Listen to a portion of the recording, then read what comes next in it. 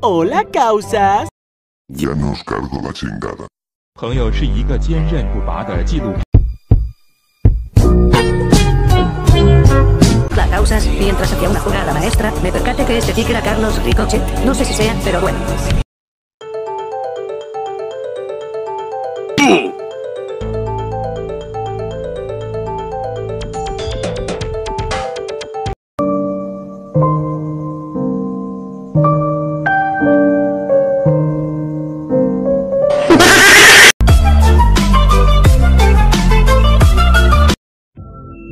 Oh.